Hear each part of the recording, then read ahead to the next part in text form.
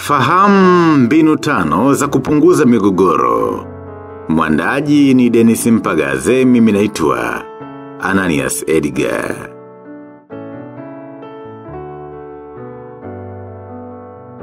Migogoro haiwezi kuisha kwa sababu ndo hufanya maisha yawe na maana.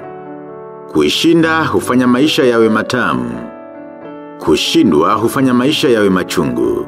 Hakuna maendeleo bila migogoro, bila kutuangana hamwezi kuheshimiana. Wagomba nao ndiyo wapata nao. Mpende adui tuone ukubwa wa akili yako. The true man of maturity is when someone hurts you. And you try to understand the situation instead of hurting them back. Wanasema wazungu. Unaweza kujikuta unagombana na mtu kila siku kumbe ni kichaa. Hakuna kitu kitakachokuweka karibu na mungu kwa haraka zaidi ya matatizo. Migogoro ni fursa kwa wenye utamaduni wa kuona uzuri katika kila baya lakini ni hatari kwa wenye tamaduni za kuona balaa katika kila zuri. Ukiona mtu anatafuta enzi kwenye chakula meshiba. Tafteni kuwa na amani na watu wote. Amani kwenye Biblia, amani kwenye methali za kiafrika. Migogoro ni gia ya kusonga mbele kwa haraka, ni sawa na kumpiga teke chura, lazima chura mwenye akili atakupenda. Na hii ndio maana halisi ya mpenda adui yako, akufanyiaye ubaya mlipe wema. Adui angukapo mnyanyue ili aendelee kukusogeza mbele. Hakuna alijikuwa kaangukia nyuma, wote hujikwa na kuangukia mbele. Ukiteleza ndo unaweza angukia nyuma, kumbe basi kujikwaa si kuteleza. Kujikwaa ni kwenda mbele tena kwa kasi kweli. Umejikwaa songa mbele ndugu yangu. Unapitia magumu yalainishe kama mkate kwenye chai. Unapopitia magumu kumbuka ipo siku utapitia vitamu. Unapopitia vitamu kumbuka ipo siku utapitia vichungu kwa sababu maisha ni duara kwa hiyo kupata si wakili na kukosa si ujinga. Ukupigao ndiyo ukufunzao, tusongeni mbele ndugu zangu. Asie kubali kushindwa si mshindani, mashindano ni movement. Movement ni msuguano. Bila msuguano hupati cheche. Wazee walipata moto kwa kusugua vijiti. Bila msuguano gari haliendi, bila msuguano hakuna maendeleo.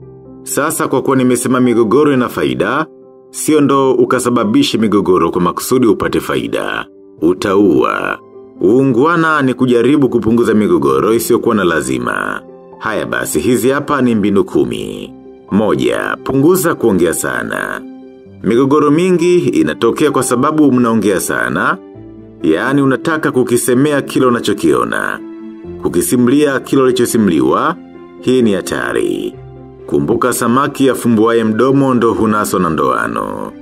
Ukitaka salama ya dunia, zuia ulimi wako. Aliye kando haangukiwi na mti, usipotia neno hutapatwa na neno. Kuongea sana, utajikuwa ulimi na kujikuta kwenye majuto. Maneno yakisha toka mdomoni huwezi kuyarudisha. Utaomba msamaha, utaambiwa umesamehewa lakini ukweli ni kwamba, ulichokisema kitabakia kwa watu na watakuona fala tu. Wanasema ni bora ukae kimya wabaki wanajiuliza huyu jamaa ana akili au ni nanga. Kuliko kuongea ukawathibitishia wewe ni nanga. Siku utakayotembea uchi, ndio siku utakayokutana na mkweo.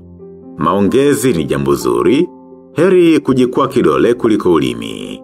Ukiona neno, usiposema neno, utapatikana na neno. Kuongea sana kutakuingiza kwenye dhambi ya umbea na majungu. Halafu hakuna wambea kama wanaume ingawa tunawasemaga wanawake ndo wambea. Utasikia yule demo na mshono, umeulizwa, acha umbea bro, uheshimike. Endelea udharaulike. Utaacha umbea tu kwa kupunguza kuongea. Mungu aliweka ubongo karibu na mdomo ili walawe kusaidia kutumia ubongo kutafakari kabla kusema, lakini bado ukiongea watu na kushangaa. Je, mdomo ungewekwa miguuni mbali na ubongo ingekuwaje? Unapojipa muda wa kutafakari unachotaka kukisema, unajipa nafasi ya kuwa sahihi zaidi. Hapa baada ya kusema, mara utakapoamua kusema, hutopoteza muda kuomba ladhi baada ya kusema. Can. The point is to understand, yalisema Albert Einstein. Kunyamaza wakati fulani maishani mwako sio kipawa bali ni nidhamu. Moja, nyamaza unapohisi hasira maana hasira ni hasara. Mbili, nyamaza kama huna taarifa za kutosha kuhusu unachotaka kukisema, ili usiishe kushauti badala kuwaji. Tatu, nyamaza unapokuwa ni wakati wako kusikiliza ili ujifunze. Maana ukiongea utarudia unachokijua tu, ukisikiliza utapata usichokijua. Nne, nyamaza ukijua maneno yako yataharibu kwa sababu, neno likishatoka halirudishiki mdomoni.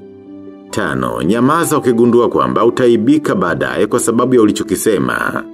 Sita, nyamaza ikiwa wakati ulionao ni wakati wa kazi. Mtu azuiaye kinywa chake na ulimi wake, atajilinda nafsi yake na taabu, basi mungu akupe neema ya kujenga nidhamu ya kunyamaza kwa maana, maneno ya kinywa chako ni mtego wako. Mbili, jiwekee mipaka. Acha mazoea yatakuletea shida. Kila binadamu ana mipaka yake, kama wewe hauna basi anza leo kujiwekea mipaka. Acha kuzoea watu kizembe watakuumiza. Akuzoeaye ndo akumalizae, kikulacho kinguoni mwako. Hakiwezi kukaa kwenye nguo yako kama hakija kuzoea. Mtu asikujua si rahisi kukuumiza, mpenzi amekuumiza kwa sababu ulimzoea. Badala ya kumheshimu mkaishi kimazoea. Aka kuchoka, mazoea yana tabu yake, yana kinai. Jitahidi watu wasikuzoe sana na wewe usiwazoe vile vile. Bosi wako abaki kuwa bosi wako, ukimzoea ipo siku atakuumiza. Pambana na hali yako. Tambua wajibu wako ili bize na vyako na wajibu wa jamaa zako waachie wenyewe. Faida za kufanya hivyo ni nyingi kuliko hasara. Kumbuka mipaka haina maana kujitenga. Uishi katika dunia peke yako hapana. Mipaka sio binafsi, mipaka ni ustaarabu uliotukuka.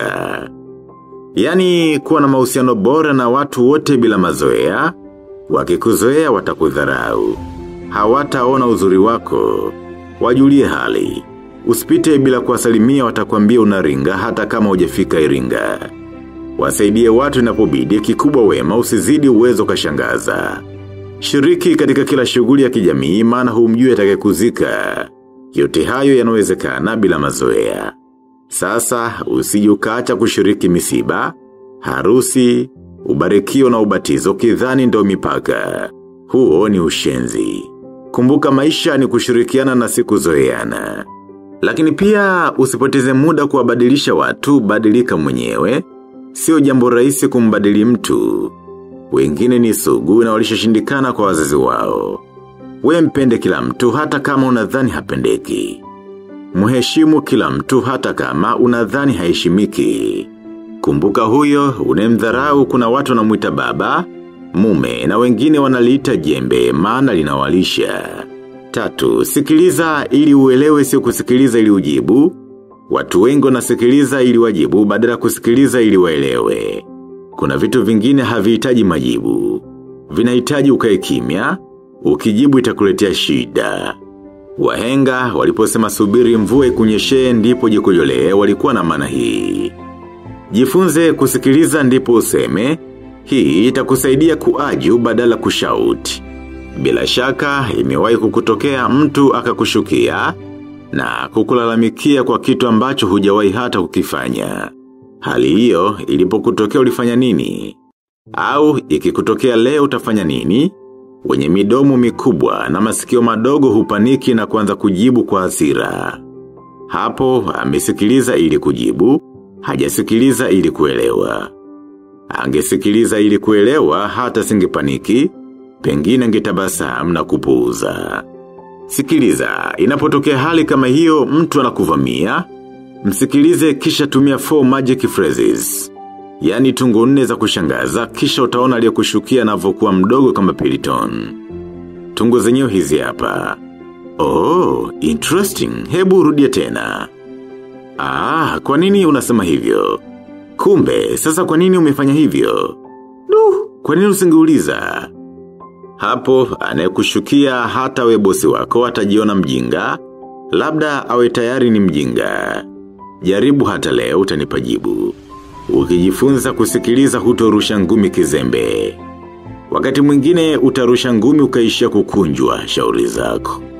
Tumia hizo tungo hata kwa anayekuletea majungu, hasa habari za mpenzi wako. The more you understand, the more it becomes less complicated. Empty things always make noise. Maarifa ni kujua nini cha kusema, hekima ni kujua wakati gani wa kusema. Nne, usimtende mwenzako kile usichopenda kutendewa. Hii ni kanuni ya dhahabu.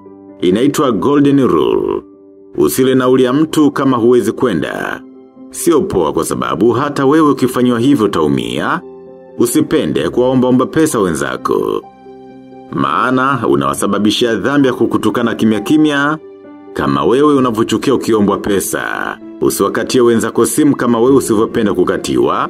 Hii itakugharimu maana malipo ni hapa hapa duniani. Unamlaumu mungu hajibu maombi yako na wakati wewe meseji za washikaji zako hujibu na simu zao hupokei. Hata ukikuta missed hupigi. Na ukipiga huombi msamaha kwa kuwakwaza.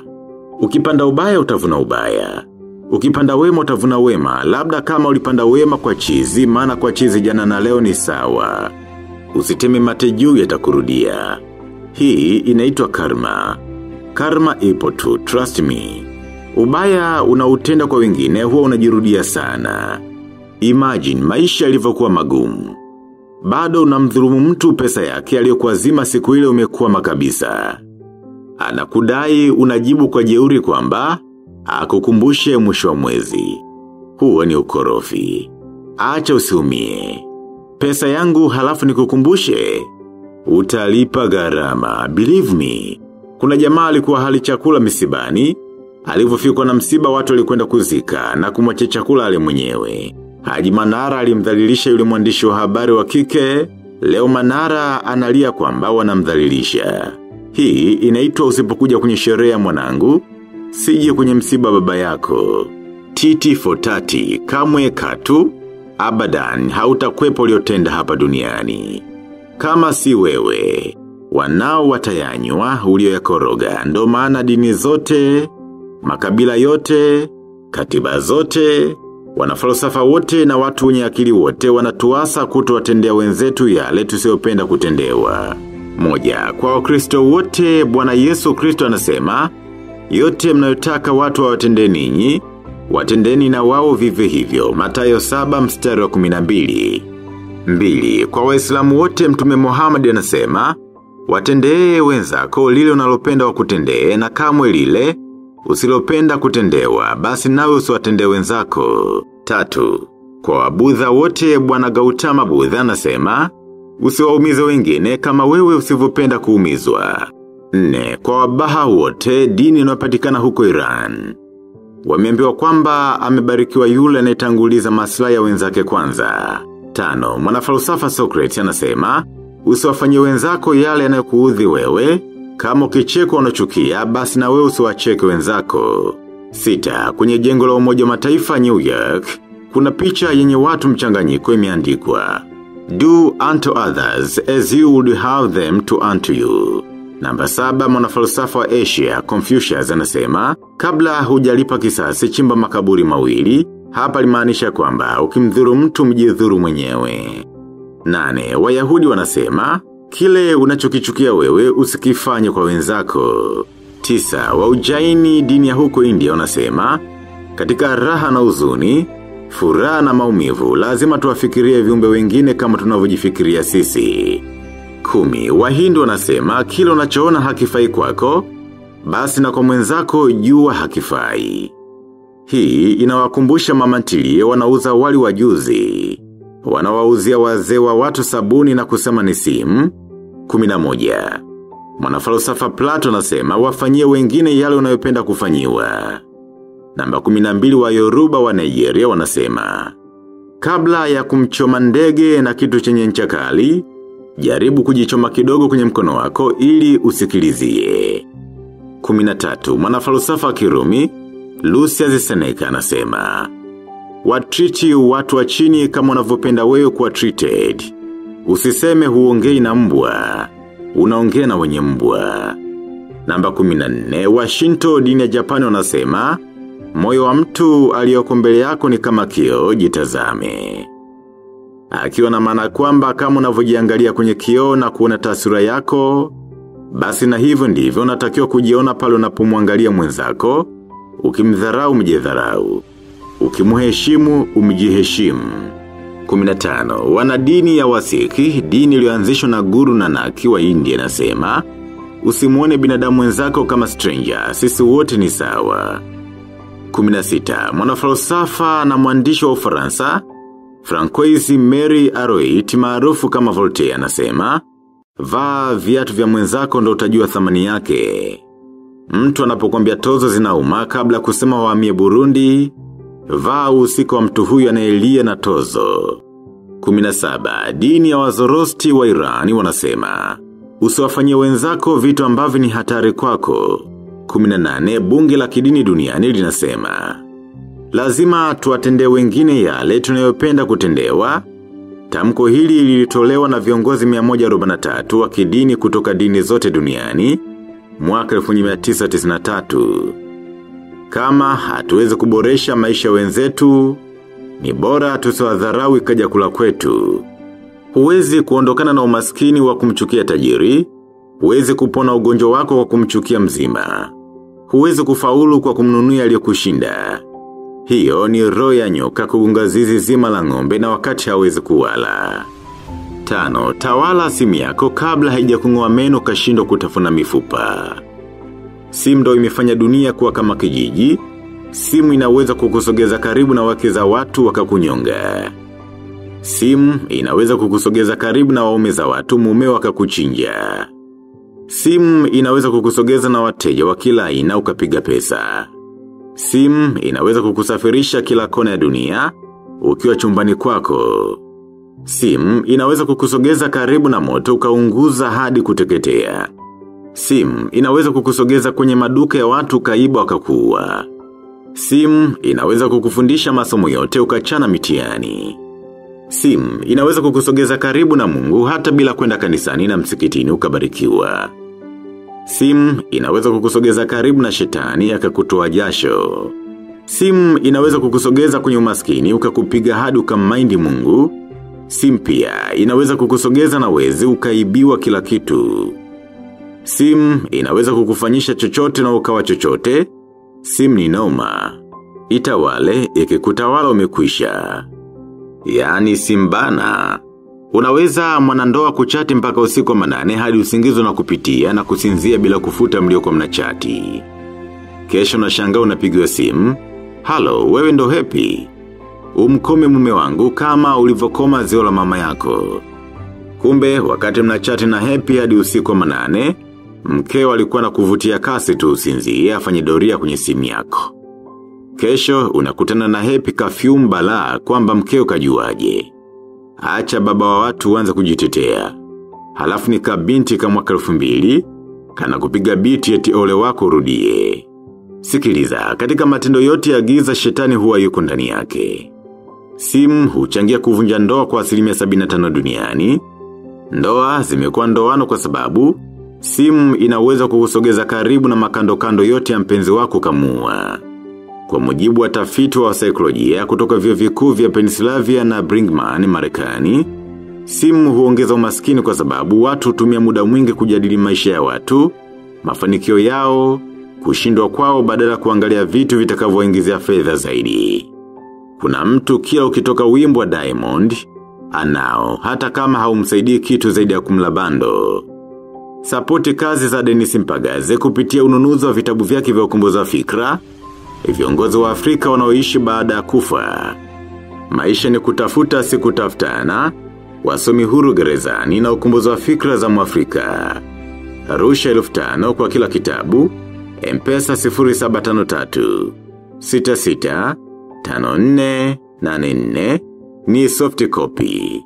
Tangu tozo mpya zitangazwe, watu wameanza kurudi benki kukutana na kaunta nne.